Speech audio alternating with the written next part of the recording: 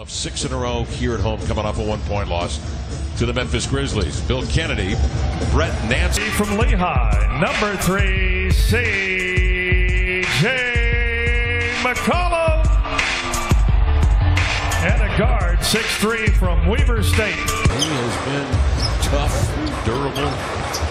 As always, C.J. Long lead pass right side. And Dingley's back in uncourts of beauty.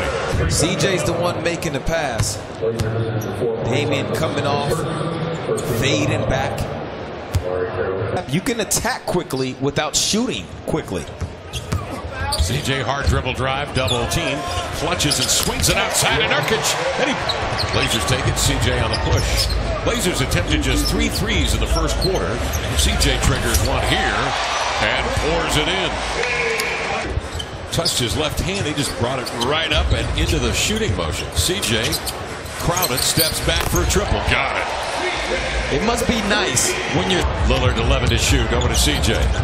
Again, closely guarded by Dinwiddie. Well, at this point, you just got to give him space and let him operate. Dinwiddie closes out on the three by CJ. He knocks it down nonetheless. And then threw it out of bounds. yeah. At any rate, Blazers bring it up. Turner out of the corner. Transition will flare a three. And he parachutes. Coming after the pass from CJ to Evan. No hesitation. Just let it fly. Court. Mozgov out there to delay him. 16 to shoot. Plenty of time. CJ steps back. Flutter ball up and in. 41%. 11 to 35. 31% tonight.